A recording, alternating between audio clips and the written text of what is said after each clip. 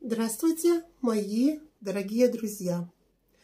Тема сегодняшнего видео – кто имеет право делать массаж?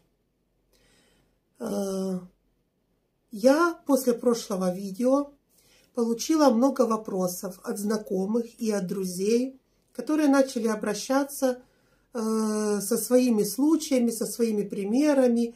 А вот такой человек может, а вот это может, а вот даже обратилась одна практикующая массажист, которая работает около пяти лет. И начала рассказывать свои удивительные случаи, как она помогла людям, как она помогла деткам, что она всем делает массаж, она не является медработником, что она не считает совсем справедливым, что я вот э, выдвинула версию, что может делать массаж только дипломированный медработник. Э, я долго думала, как же сделать это видео. И я его решила построить на случаях и примерах со своей практики, со своей деятельности. Для тех, кто не смотрел еще те предыдущие мои видео, э, я хочу познакомить вас со мной – Значит, я закончила, у меня несколько медицинских образований. Первое образование медицинская сестра. И я закончила медучилище. Затем я закончила Киевскую школу массажа и мануальной терапии. После этого я работала педиатрической патронажной медицинской сестрой, но уже после этого высшее образование. Значит, кроме всего этого, Э, я была мамой двух детей. И плавно перебираясь к случаям, начнем с чего и как начала делать я массаж. Э, первые мои пациенты это были мои детки. Вот на них я и практиковала все то, что знала до этого.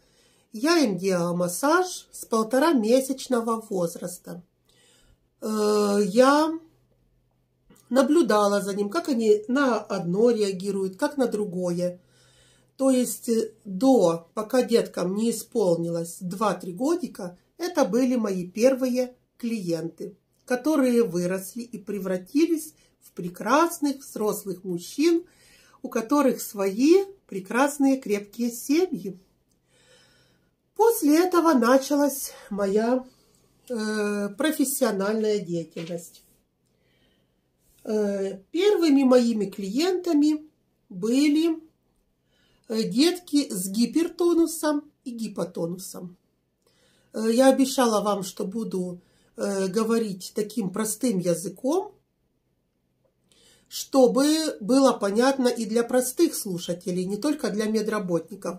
Хотя это видео для медработников, кто практикует массаж, для тех, кто просто закончил курсы и не является медработником. Также это мое видео для мам, чтобы вы были мудрыми в выборе специалиста. И это ни в коем случае не реклама.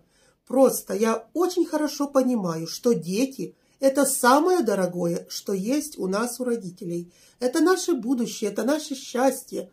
И если с ними все хорошо, мы в первую очередь счастливы. Здоровое общество. Поэтому в этих крошечек нужно вложить самое лучшее, быть очень ответственными за их дальнейшее созревание, взросление, за жизнь будущего человека. Значит, первые мои пациенты были у кого повышенный тонус э, ручек и ножек или ослабленный, понижен. Это самые как бы простые считаются состояния. При этом нужно знать просто правильность движений массажных и правильно все это делать. Э, я сначала не бралась за тяжелые случаи, читала, изучала. Раньше не было интернета, как сейчас – все приходилось на библиотеки, на учебники, иногда по два раза прочитывала все, но это не важно, говорим о случаях. И Э, первым моим ребенком э, с гипертонусом, не первым, одним из первых деток, э, можно сказать, в первой двадцатке, был очень интересный ребенок. Имена я не буду говорить ни мам, ни родителей. Обратились с ребенком в три месяца, повышенный тонус ручек-ножек. Начали делать массаж, в три месяца курс сделали, в шесть месяцев прервался курс. Позвонила мама и сказала, вот ребенок э, с воспалением легких э, после крестин. И ребенок попал в больницу. Пролежали они там, э, я уже не помню какое время, вернулись домой. Мамочка звонит в слезах. Ребенок выздоровел, но он не держится на ручках. Вот когда лежит на животике, вообще не опирается на ручки. Я его ложу, как он раньше, он такой крепыш был. Он берет и падает. Она в, в слезах, э, я ей говорю, не переживайте, давайте приходите ко мне. Они приходили ко мне, захотели на дому у меня делать массаж. Пришли ко мне, я им сказала, что не переживайте, это все восстановимо. Просто ребенок был ослаблен болезнью. Э, у нас нормализовалась ситуация за три дня. Ребенок уже хорошо поднимался, хорошо держался, такой веселенький был. Э, закончили мы курс, как положено. Ребенок здоров. Второй случай у меня был, э, я просто случаев было много, но самые такие в моей памяти яркие буду вам рассказывать. Э, второй, который приходит мне на память случай, очень тяжелый был случай. Это после вот простых массажей, которые я брала без всяких патологий, без ничего – Э, в один из дней ко мне обращаются э, родители ребенка. Папа в слезах приходит э, с мамой и говорит, пожалуйста, я вам рассказываю, как и было. Пожалуйста, наш ребенок умирает. Мы готовимся к похоронам. Нам отказали уже все. Сказали, что невозможно что-то сделать. Ребенок с... мы не знаем, что с ним. Сначала рассказываю, как родители говорили. Ребенок, мы не знаем, э, ребенок, э, мы вам, если что, принесем карточку, мы не поймем уже, что с ним. Один одно говорит, один другое. Но вроде как воспаление, ничего не могут сделать. Ребенок умирает, мы режем поросенка к похоронам. Я в таком шоке. Они плачут, стоят. Говорю, вы понимаете, что массаж – это не спасение от смерти? Я не знаю, что с вашим ребенком. Как, если отказались врачи, что я могу делать? Я не врач, я тогда была просто медсестра, просто вот массажист и все. Пожалуйста, на вас, на вас одно, одна надежда. Э, мы что-то уверены, что вы поможете. Они не говорили даже что-то. Мы уверены, что вы поможете. А вас все говорят, давайте, пожалуйста, посмотрите ребенка. Я им конкретно отказываю, что нет, я не буду, если врач назначение будет назначение от врача, я буду делать, а так и то я должна смотреть. Но эти родители вот в такой холодный зимний день были опять у ворот с этим бедным ребенком замотанным. Я не могла их не пустить в дом. Думаю, ну ладно, хотя бы посмотрю. Когда я увидела, я вам не могу передать мой ужас и страх, что я видела. Э, на тот момент ребеночку было, если мне память не, ошиб... не изменяет, где-то около годика. Но он выглядел на шестимесячного ребенка. Э, тургор кожи никакой, он весь был серенький, худенький, маленький. Он не открывал глазки, он спал, с трудом дышал. И когда померили температуру, я даже не знала, что с ним делать. Температура была 37. А, я им говорю, что я не могу делать массаж, когда у ребенка температура, когда он в таком состоянии. Они настаивают, делайте и все, смотрите, что с ребенком. Мы вам карточку принесли, Хуже уже никто не сделает, в случае чего к похоронам мы готовы. У ребенка температура. При этом массаж не делается, тем более в таком случае. Я, чтобы успокоить их, верьте, не верьте, мне было страшно прикасаться к этому малышу. Я буквально вот, можно сказать, даже не касаясь него, водила рукой по этому малышу. Они сидели и плакали. Вдвоем сидели и плакали. Я не знаю, 3-5 минут, сколько, я уже не помню по времени, но э, в это время мы приходим к тому, что мама говорит, что делать мне? Он не кушает, он не пьет водичку. Я говорю, она грудное молоко, у нее с грудью было все в порядке. Говорит, сцеживаю. Я говорю, ну, знаете, пипеточкой по капельке, давайте в ротик молочко, все. Скажите мне, что взять из лекарств? Я в тот момент только еще училась на фармацевта. Я говорю, ну какие лекарства? Вам практически никакие лекарства не, не нужны. И говорю ей, ну возьмите для себя что-то успокоительное. Возьмите, предложила ей просто успокоительное. И говорю, она говорит, у меня сильно голова болит. Ну, говорю, детский парацетамол, у нее сироп был. Пейте вы детский парацетамол. Ему от температуры давайте, если будет выше 38, она говорит, 38 не бывает у него. Вот 37, 37,1 держится. То есть советов было никаких. Водичку давать. Я сказала, что давайте водичку с ромашечкой ему и молочко. По часам вот через каждый час. Я сама не уверена была, что ребенок выживет. Ушли они. Я не спала всю ночь. На следующее утро в 8 часов утра они опять у меня. Я говорю, почему так рано? Пока все хорошо, давайте делаем. Температуры нет. Говорю, а что вы делали?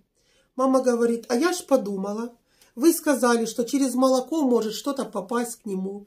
Я пью парацетамол, я пью успокоительные, я пью ромашку. Ему давала через каждый час пипеточкой то ромашку, то молочко свое сцеживала. И вот температуры сегодня нет. Делаем массаж, они опять говорят. Хорошо, делаем. Что вы думаете? Я не знаю, каким чудом, но через две недели они понесли ребенка, похороны отложились. Они понесли этого малыша к врачам. Не диагностировалось у него воспаление легких. А что было на самом деле с ребенком? Я же карточку изучила у ребенка тяжелейший порог сердца и детский церебральный паралич, плюс воспаление легких. Эти детки не живут, и врачи все правильно сказали. Но знаете, э, для родителей ребенок, какой бы он ни был, это, ну это же его. И хочется пусть на тот один день проживет больше, и то это за счастье, за радость. Иногда вот котенка подбираем жалко, какую-то собачонку, а тут свой ребенок. Им врачи говорили, что, и они правильно говорили, что с этим не живут. Э, они обычно годик-полтора, там порог сердца такой сложный, что невозможно было делать никакую операцию, и не было смысла в этом. Но э, этот ребенок прожил три с половиной-четыре годика. Э, мы делали массажи. Им говорили, что этот ребенок ни на ножки не станет, не сядет. Там все было очень тяжело этот ребенок даже говорил «мама», а для них это была большая радость. Этот ребенок кушать просил, этот и, и ребенок интересовался игрушками. Он прожил маленькую жизнь, короткую, но на, на радость папе с мамой они сделали все, что могли в своих силах.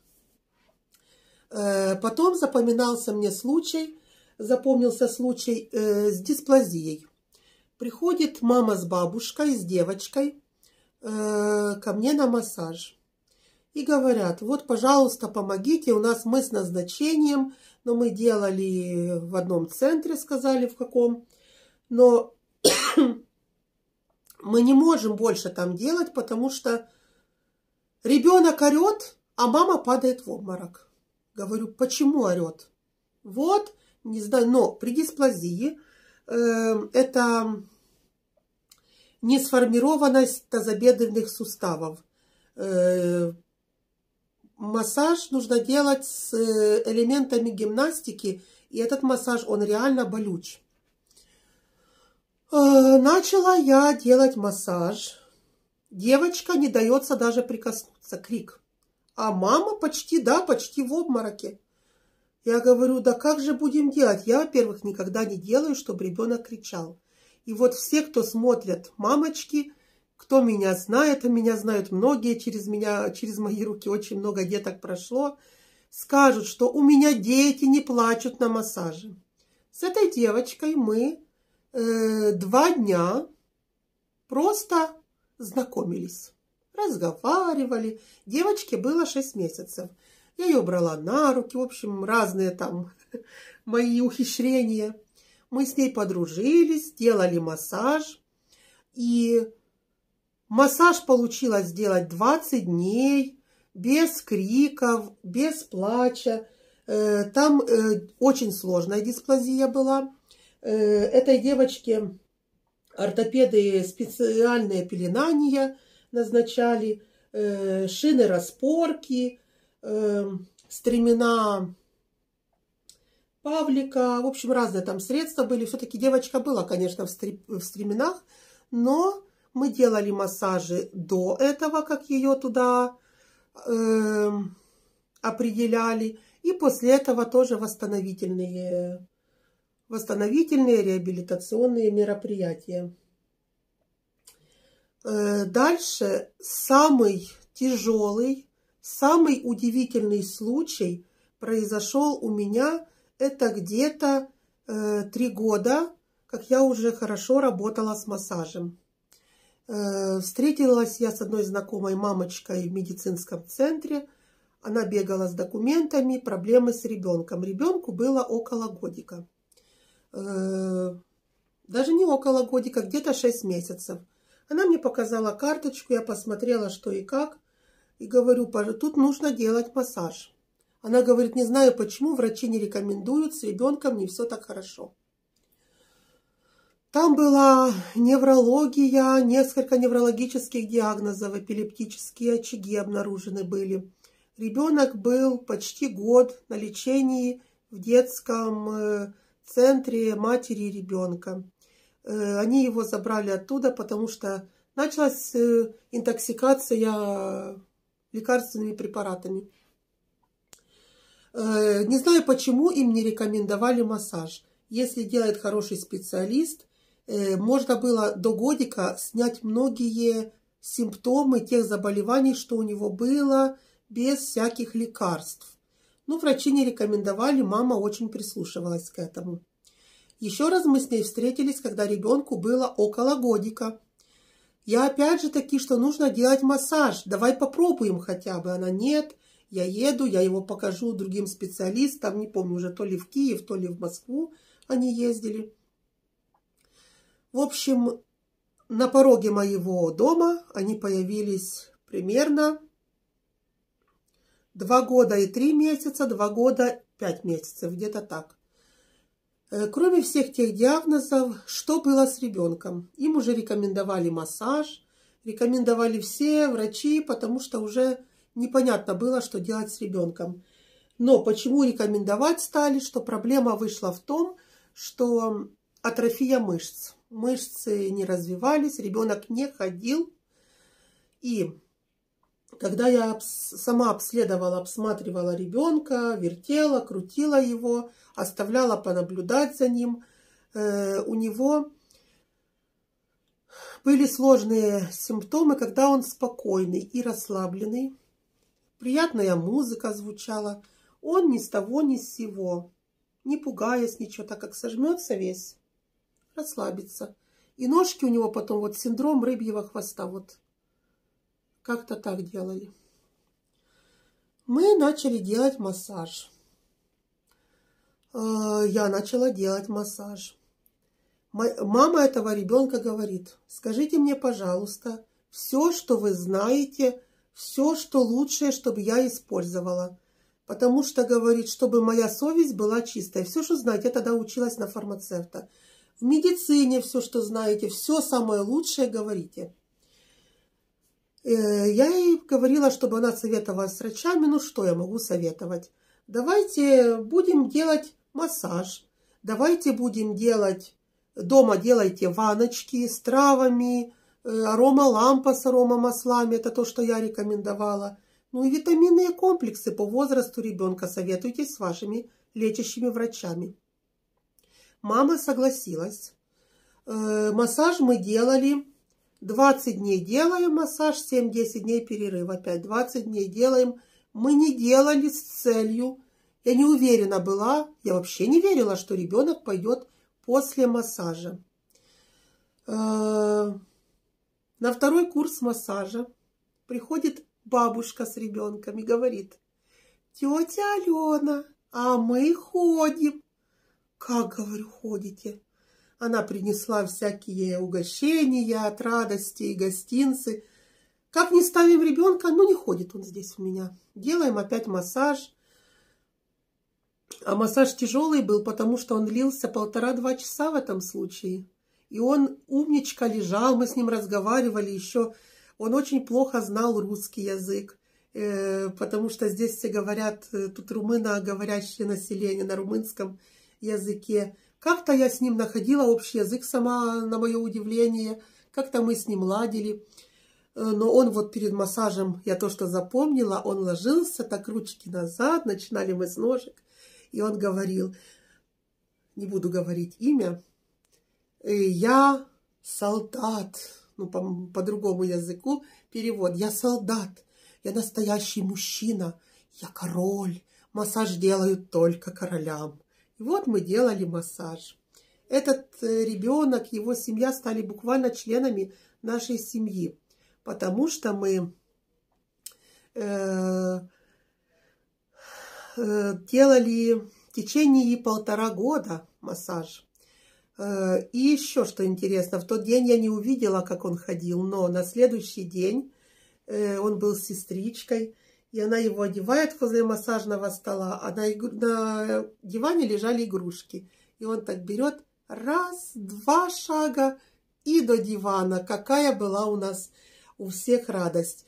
Что еще интересно, они пошли после два года на обследование. Были у всех тех специалистов, кто, кто курировал их раньше. К моей радости там было очень много изменений в лучшую сторону. Там была и томография произведена, энцефалограмма. Все врачи, а курировавшая врач говорит, я не знаю, что за чудо в вашем случае произошло, говорит, массаж вообще дело неплохое, если делает специалист.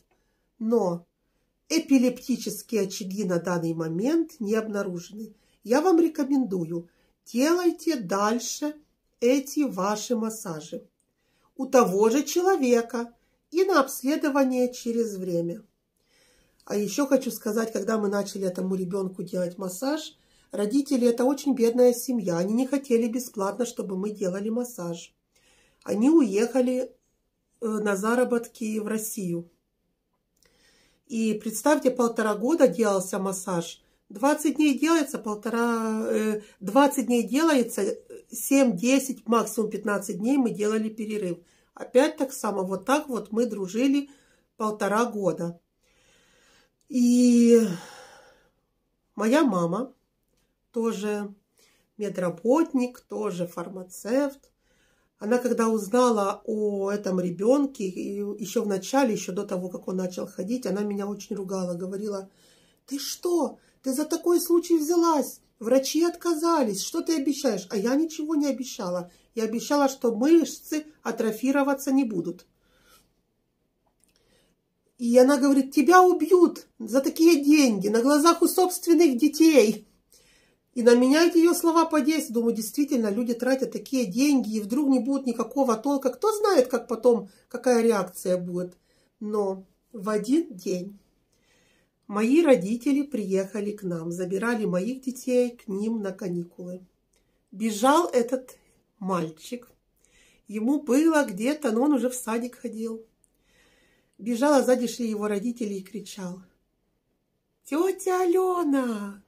И смотрите, я бегу, я бегу все быстрее и быстрее, ловите меня!»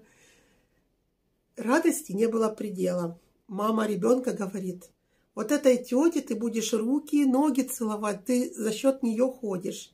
Сейчас это такой высокий, красивый парень, чтобы он был счастлив и здоров. Значит, э, дальше, уважаемые медработники, уважаемые не специалисты и мамы. Случай, который повернет многих в шок. Я сейчас делаю паузу и перейдем ко второй части этого видео.